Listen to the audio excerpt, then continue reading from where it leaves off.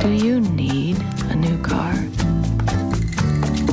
Do you need to see the ocean?